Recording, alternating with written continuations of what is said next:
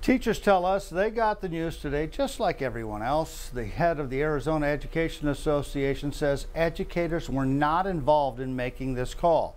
News 4 Tucson's Eric Fink continues our live team coverage tonight in Midtown with Teacher Reaction. Good evening, Eric.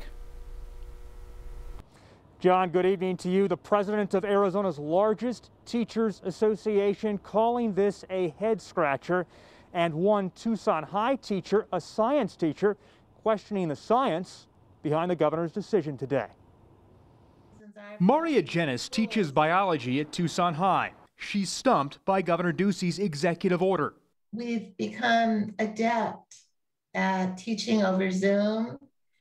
And from an instructional point of view, it makes no sense to me to bust everything up for the last quarter. She's getting ready to go back to class for hybrid learning later this month, where she says she'll teach her lesson plan in the morning in person and teach that same lesson plan in the afternoon to her students over Zoom. My biggest class for in person is 10, and I have one class with two students. At 61 and with a 79 year old husband, Jenis is set to get her second dose of the vaccine this weekend, but she believes it could take weeks to develop immunity to COVID. She fears going back into the classroom as a carrier of the virus. And I will give it to one of my students who will take it home and their grandfather will die of it. That's a really scary responsibility when I've spent a year basically sheltering in place at my house. Joe Thomas leads the Arizona Education Association. He says before this, individual districts at the local level were making reopening decisions.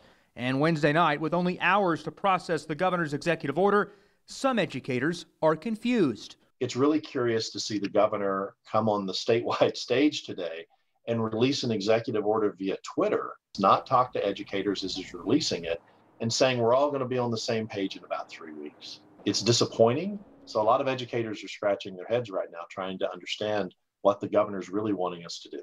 And some, like Maria Jenis, are left feeling even more uneasy. So I'm going to feel like there's a knife at my neck. You either do this and risk your life and risk your student's life, or you lose your job and you lose your house and you can't feed your family. That's what it's come down to. Now, I spoke with Tucson Education Association President Margaret Chaney earlier this afternoon. She says in her mind, the governor's decision will make it more difficult to keep teachers and students physically and socially distanced when they both come back to campus. We've got you covered live tonight here in Midtown. I'm Eric Fink, News 4, Tucson. John.